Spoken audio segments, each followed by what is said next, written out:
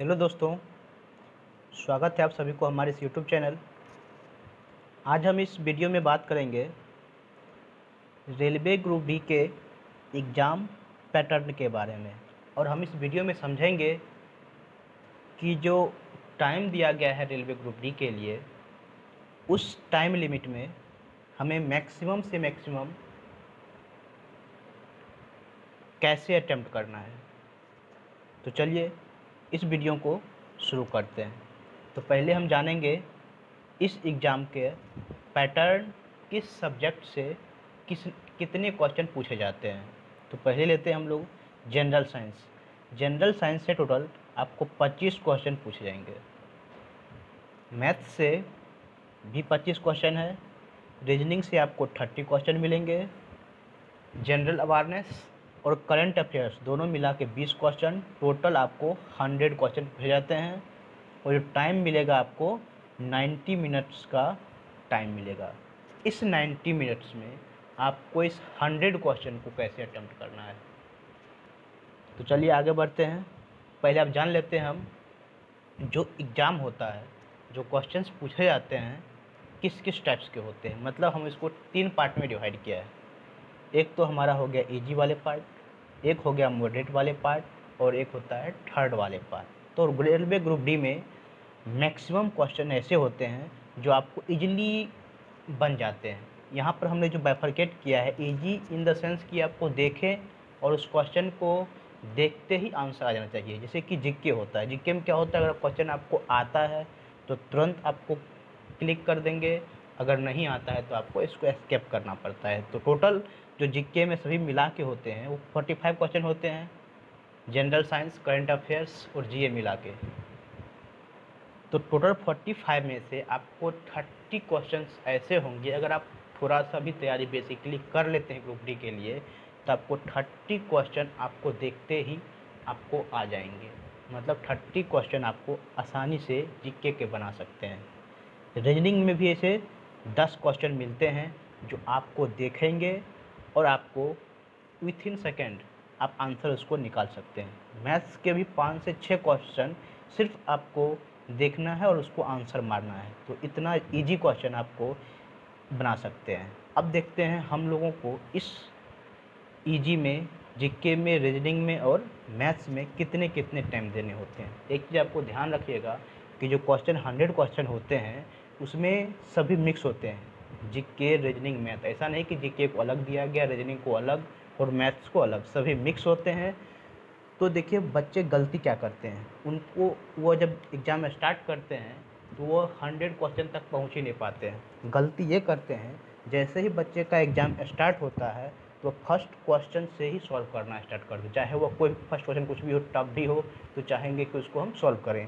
लेकिन आपको ऐसा नहीं करना है। अगर आप ऐसा करते हैं तो आप बहुत ज़्यादा टाइम को वेस्ट कर देंगे, क्योंकि हर एक क्वेश्चन के लिए आपको वन वन मार्क्स दिया गया है। इजी टफ के हिसाब से आपको मार्किंग नहीं की जाती है तो इस बात का ध्यान रखेंगे। उसमें आपको स्टेप बाय स्टेप सॉल्व करना है। पहले क्या करना है आपको, सबसे पहले स्टार्ट करना है। अगर आपको उस क्वेश्चन को देखना है अगर आपको देखते ही आंसर क्लिक हो गया तो उसको टिक मारेंगे, नहीं तो स्किप कर जाएँगे। बस फ़र्स्ट स्टेप में आपको यही करना है। फ़र्स्ट स्टेप में आपको सिर्फ़ इजी वाले क्वेश्चन देखते जाना है और आंसर करते जाना है।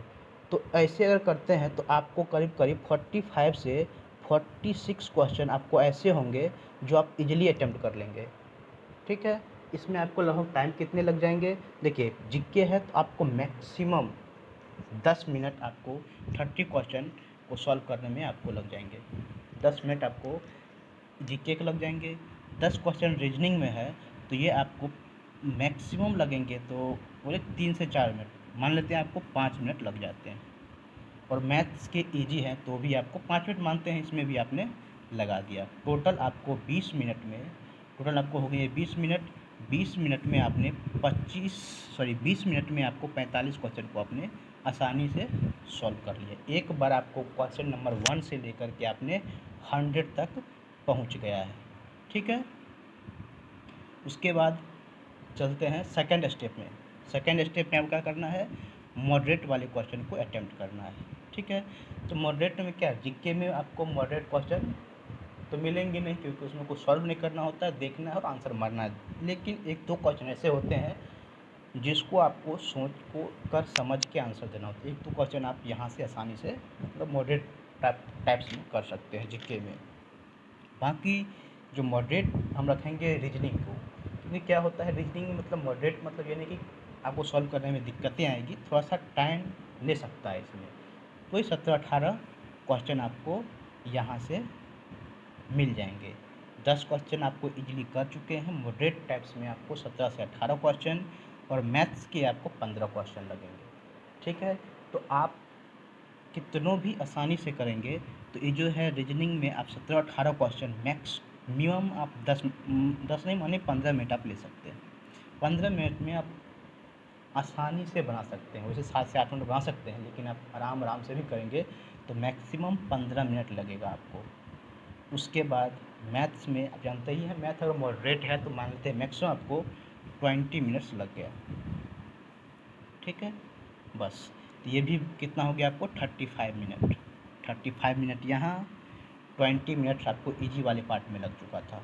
आपको हो गया फिफ्टी फाइव मिनट्स टोटल मिलते हैं आपको ninety minute ninety minute means आपको थर्टी फाइव मिनट्स आपको अभी भी बचा हुआ है।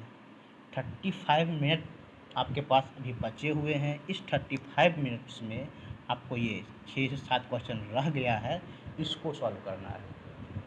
इस थर्टी फाइव मिनट में इस पाँच से छः क्वेश्चन को अगर सॉल्व कर लेते हैं तो आपको यहाँ से लीड मिल जाएगी बाकी बच्चों से। क्योंकि क्या होता है? ऑन एवरेज जितने भी बच्चे होते हैं इजी कर लेते हैं मॉडरेट भी कर लेते हैं, लेकिन टफ पार्ट में बहुत सारे बच्चे फंसते हैं। तो इसलिए आपको टाइम बचा के चलना है और टाइम आपको मैक्सिमम यहाँ पर अगर आप इस क्वेश्चन को सॉल्व कर लिए तो आप आसानी से लीड कर सकते हैं दूसरे बच्चों से। ठीक है? तो इस तरह से आप क्वेश्चन को आप अटैम्प्ट कर सकते हैं। आप मैक्सिमम स्कोर अगर इस तरह से करेंगे तो आप कर सकते हैं। क्योंकि क्या होता है, सबसे जो वाइटल रोल होता है टाइमिंग का। बहुत सारे बच्चे टाइम को ही मैनेज नहीं कर पाते हैं। तो आप ये गलती नहीं करेंगे। और इस तरह से अगर आप अटैम्प्ट करते हैं तो आप आसानी से अच्छे स्कोर कर सकते हैं। तो चलिए, इस वीडियो को यहीं ख़त्म करते हैं। वीडियो देखने के लिए आपको बहुत बहुत धन्यवाद।